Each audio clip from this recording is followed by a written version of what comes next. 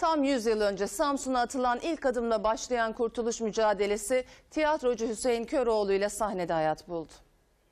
Mustafa Kemal Paşa 19 Mayıs 1919'da bundan tam 100 yıl önce Samsun'a çıktı.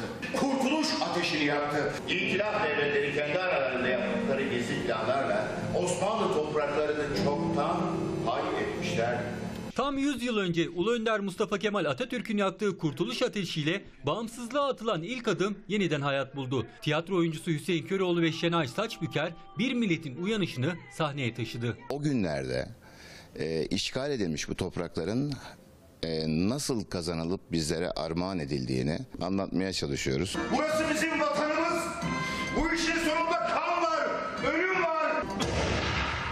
Düşman askerine ilk kurşunu sıkarak Türk vatanının teslim alınamayacağını gösteren Hasan Tahsin, isimsiz kahramanlar ve Mustafa Kemal Atatürk'ün tarihe yön veren sözleriyle sahnelendi. Esaretten Özgürlüğe adlı oyun. İstanbul Boğazı'na demir atmış İngiliz savaş gemileri arasından geçiyorlar.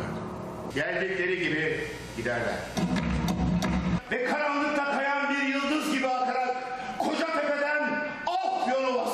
Ovası'na atlayacaktı. Kurtuluş mücadelesi, zorluklar, kahramanlıklar, adım adım yazılan destan.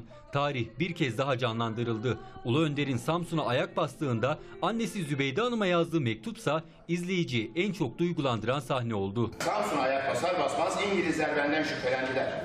Hükümete benim gidiş nedenimi sordular. Mektubu yazarken e, şehit olacağını biliyor. Yüzüncü yılı şakası yok bunun. Atamızın yanı başında. Yaşasın Cumhuriyet diyeceğiz. Hüseyin Köroğlu 16 ve 17 Mayıs'ta Lefkoşa'da sahnelediği oyununu Ulu Önder'in Samsun'a ayak basışının 100. yılında başkentli tiyatro severlerle buluşturdu. İlk defa Türkleri yakından ve canlıyken gördüm.